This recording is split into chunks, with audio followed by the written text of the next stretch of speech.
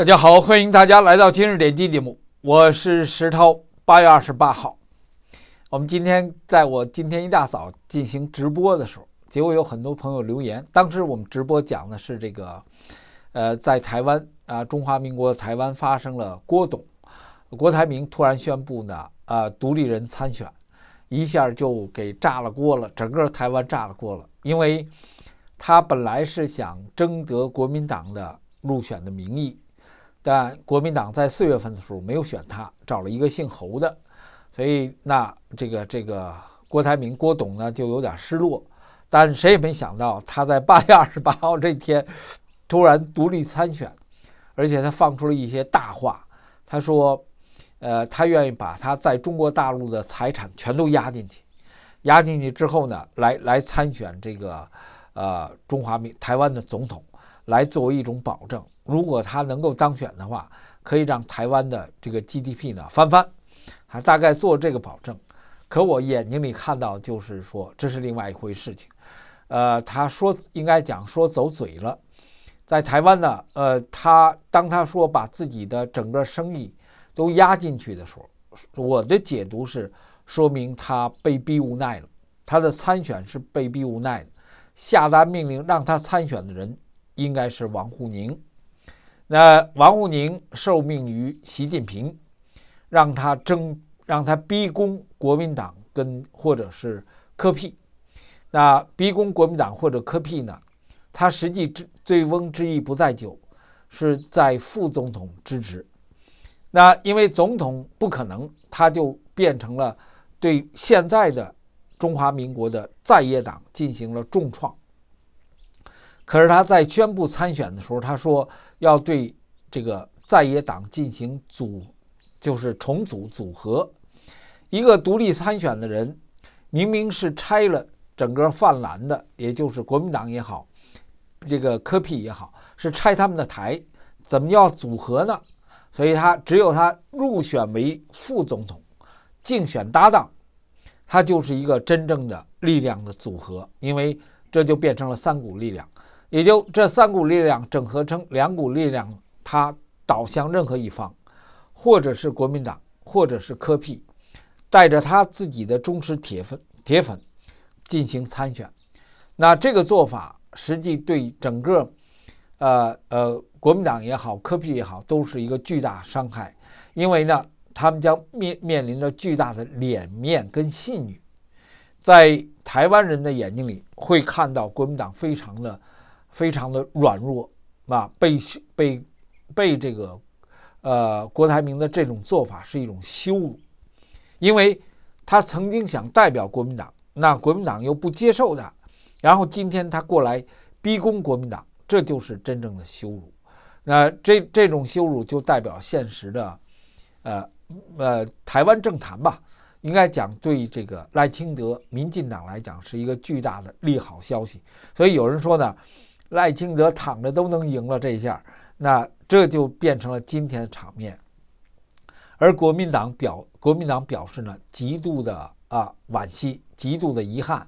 呃，那 PK 呃科比呢，我没有看到科比科比做什么表达，民进党也没有做表达。但是呢，台中国大陆的中共国大陆的媒体在第一时间就报道这件事情，而最早报道这件事情的。是在十七个小时之前，香港《大公报》，所以那也就变成了这件事情是科屁，对不起，是郭董、郭台铭可能跟中国大陆商量好的，然后去为了夺取台湾，在被逼无奈的背景之下出此下策，那也就变成了是昏招、烂招、混招，这招谁能出呢？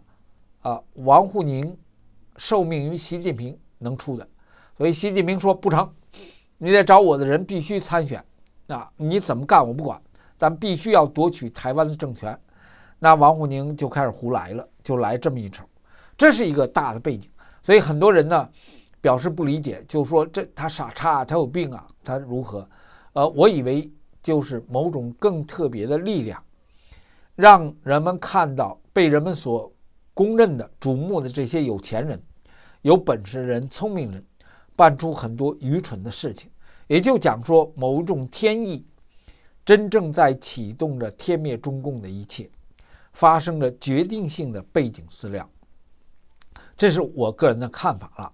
在个人的看法的背景之下，我发觉在留言下就很多朋友说三阳了，三阳了，三阳了，新冠三阳了。我还一时就没搞明白新冠三阳了。结果原来呢，实际是在中国大陆。呃，我们现在看到这篇文章是中新网，在中国大陆的十七号，它最早可以查到八月十一号，陆陆续续就有报道。等到了八月十五号、十六号、十七号，中共的官方媒体，包括新华社、人民日报、央视，都在讲述所谓的“三阳”问题。那三阳，那中青报、中新网就说，新冠三阳陆续出现，登上了热搜榜，原因就是全新的变种病毒叫 EG.5，在全球呈上升趋势。WHO 已经把它列为需要留意的变种病毒。他说：“二阳小高峰过去不到三个月，三阳真来了。那呃，重复感染是否意味着更大的伤害？那这是三阳的故事。这个三阳到头了。说句心里话，到头了什么意思？凡是见三，就是阳了，好了。”又阳了，这是二阳，现在三阳了。三阳的意思就是全面的，啊，不挑你得过得过没得过，打过针没有，什么都没有。那这来表现了病毒的真正的生命的存在力，跟它的生对中共国对国人的对普通人的伤害。那也就表明打针各种办法对于病毒来讲是毫无意义的。人们在病毒的角度看是人类的愚蠢，是毛泽东当初的人定胜天。那北京话说人定胜天，如果开房开玩笑说，你的做法就是撅着屁股放屁，呃，撅撅着腚放屁，跟老天爷对着干，冲天放屁就跟了老天爷对着干。那这是最大嘲讽了当今，呃，以美国为代表最先进的科学的一切，但同时表现出。中共病毒的目标性跟真实性，美国，我在上个星期吧，应该是我们引用了白宫的一段话，那拜登已经明确警告美国人，到九月份，这马上到九，到九月份，美国人应该打第三针，所有美国人要打第三针，所以很多人当然不干了，就说认为是，认为是这个美国人的呃。要重演大选年的二零二零年的故事，当时那每个人当然从各自的角度去考虑了，里面很大的成分就是对今天的美国政府、美国的防疫机构都表深表不信任，这是相当大的一部分人，因为经历过的一切促成了，但是在这份不信任的背景之下，又真真切切的出现了这么一个病病毒变异病毒病毒。那病毒从当时美国人讲叫 XBB，那现在呢？呃，中共国人叫它叫 EG 导，呃点五，说明变种病毒的速度极快，更新极快。那这种病毒当时白宫的说法是说，呃，它的最大特征就是急速变异，而变异的方向今天掌控不了。白宫的新闻稿就这么说的。所以时间点跟这个八月十七号前后讲的时间点差不太多。那今天已经是八月二十八号，也就已经前后经历过了十天。所以这是一个故事，而这个故事是在全世界等同时间发生的啊，这是背景。结果在这个背景之下呢，呃，如果你查三阳，就是三阳症状。你就会发觉，在国内的包括中国网，你可以看到中国网、央视网，啊，叫望城区政府，这是地方政府。那华声在线、奥一网，呃呃，叫央视广告网、天目云、财呃新浪财经、福州新闻网，它意味着什么？福州新闻网是八月十一号，还意味着。无论是从中央一级的中共体制，中央一级的还是地方的，小到一个县政，都发现了这个问题。时间是统一的时间，出现在八月十一号，八月十一号、十二号就陆陆续续出现了。等到了八月十六号、十七号，啊，他就发现全国范围内都有，而且症状蛮厉害的。这是一个关，这是我想跟大家分享这个时间点。那在这个时间点的背景之下，结果今天大纪元就登了一篇文章。大纪元现在在北美影响巨大。大纪元新唐人的英文网站是今天北美社会当中最主要的，呃，具有在他们说法具有保守思维的，就是传统的保守思维的顶尖式的媒体，那是真真正正我们大陆的朋友在，呃，在北美地区建立起来的媒体，然后现在完全成为了主流媒体当中的一部分，呃，当然主流媒体主要是英文了。在中文的今天的文章当中，呃呃登出来的，刚刚登出来的，呃，中共国疫情又起，法轮功创始人是说针对共产党而来的，掩盖死亡人数。李大师说死了很多人，包括很多年轻人，所以这是一个全新的讲法。而这个全新讲法其实也不是全新了，是一直延续过来的，而却是李大师自己。公开向社会提出警告，跟说明它的缘由，这是我们看到的一个非常直接的。那跟我们前面看到的故事是一样，他就讲述了一个，呃，李大师就讲述了一个在神的眼睛里，在真正神佛的眼睛里看到这件事情的本质所在和对人的警告以及结果的出现。那而信不信？那很多朋友会会说相信或者不相信。但它问题就赖于，你要问你自己，对不对？你相信打针吗？你打了吗？你打了几针？然后呢？问你自己，对不对？你在美国也好，在加拿大也好，在中国也好，在在任何一个环境，都是因为它是涉及到整个人类的。当你去问自己的时候，自己给自己一个答案，给自己一个答复。那我们把它称为中共病毒。那原因就是要把中共国人。对共产党有关联的人，啊，有关联的人，那你他就是魔鬼来的，魔鬼只能去地狱，不能在人间，人间是神造。那魔鬼带着那些与他等同认知的生命，到他该去的地方。那对于人而言，那可能就是死亡，甚至是灭绝。所以你那是对生死的看法，而生死的看法。是一种生命的关联，那你只有在生命的关联的角度去看待这件事情，才是准的，而不是利益的角度去看待的。呃，文章写的很长，我主要跟大家，因为我们介绍了疫情的背景，我主要跟大家分享李大师所陈述的，那现在表现出来的内容，诶，其实是一种不仅仅是警示了，我把它看成是来自于神佛的慈悲。那慈悲的一切是感化人，能够启悟人。那人是否被启悟，那取决于每一个人个个人自己的事情。呃，中共病毒两个月，在大陆的知名高校专家、高级行政官员、企业高管、青壮年警察出现密集度死亡。他是讲近两个月。我们刚才跟大家分享病毒的那故事呢，是在八月十号、十一号。陆陆续续爆发的。那李大师近日，呃，李洪志大师近日再次指出，呃，病毒主要是针对共产党的，盲从跟随中共、维护中共、为中共卖命的，目前死了很多人，包括很多年轻人。呃，今年一月份，李大师已经明确讲，三年多来，中共在掩盖疫情中。死已经死去了四亿人，那我呃很多人去去讨论这件这个四亿人到底是怎么来的？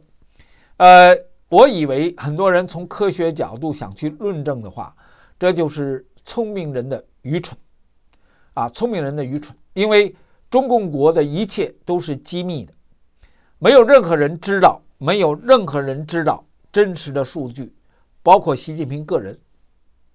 那在今天的中共国，让女人生孩子，生三胎，结婚不结婚无所谓，你只要生就生，把每一个人的自己的母亲、自己的姊妹、自己的太太、自己的女儿，当成牲口用，当成牲口去描绘，这就是今天的中共国，没错喽。